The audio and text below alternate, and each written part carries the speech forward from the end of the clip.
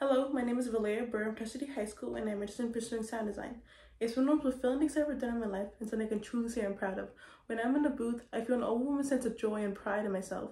I've never felt such a desire to perfect something, such pride in my work. It's taught me various skills and various responsibilities that I know I will carry out throughout my life. Theater truly drives me mad, but it's made me happier than ever, and it's something I will never regret doing. Theater has truly turned my life around. I'll continue with my portfolio. First show we would have the 25th annual Putnam County Spelling Bee. This is the only show I've ever had the privilege for running mics and track. Shown on the screen are my sound cue sheets. I use them to organize my thoughts and process once I have them all written down in my script. My volume levels can be shown with start time at being my monitor and end time at being the main speaker. However, these volumes did change.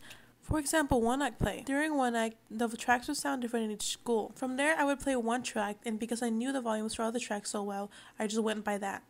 And from that one track, I would reference to other tracks in order to find their volumes. And now on to mics. My main focus on mics was so that I became completely invisible and made no mistakes, so that I wouldn't be drawing any attention away from the actors. And besides sound, I was also an ASM, part of the construction crew, and prop master.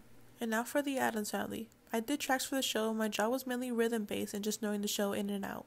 And there were some times where the actors missed a cue line and I would have to skip to another measure. The show was truly about living in the moment and just improvising to keep the show moving forward. And now for Mamma Mia. Mamma Mia was the first show I ran mics and I ran 16 mics. Mixing the mics was a bit difficult since the musical relied heavily musically on some actors. It was also the first time I got to experience different vocal types and how they affected overall blend. During Mamma Mia, I was also part of the construction crew. The slide shows the original plan for the set, and I was a major role in the schematic process. It was the first time I got to utilize all the skills I have learned over the year. And some other sets I've had the pleasure of building was Peter and the Starcatcher. It was one of the first big sets I was able to be part of. And a small explanation I like to give it is big platforms and a lot of cross bracing. It was truly such a fun process to be a part of. Next, one of the most recent sets I was part of was Alice in Wonderland, and it started to become one of the most greatest and my favorite piece to be part of. And overall, these are the shows I've been part of. I've been in a construction crew for six years.